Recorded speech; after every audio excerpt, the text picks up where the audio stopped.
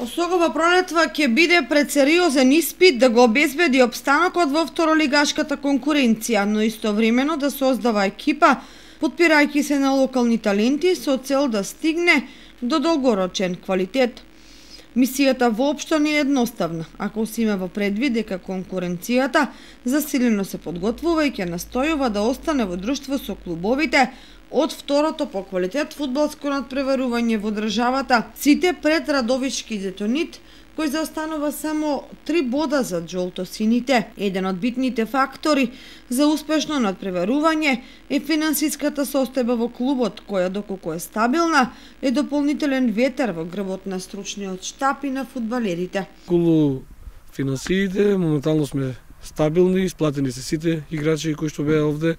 Имаме некои долгови кои се од претходната управа, но и тоа го чистиме полека постепено, значи тоа ќе се сведе на минимум, да не кажам до крајот на годината дека треба да биде и чистено а, до нула, така да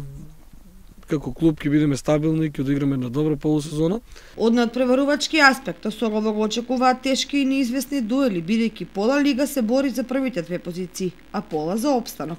па секој надпревар на некој начин ќе биде одлучувачки за конечниот епилог. Инаку, за тоа што добие, што загуби во преодниот период и дали сега екипата е посилна или послаба, ќе покажат контролните надпревари во рамки на подготовките. Првиот е веќе на 29 јануари против Каменица Саса.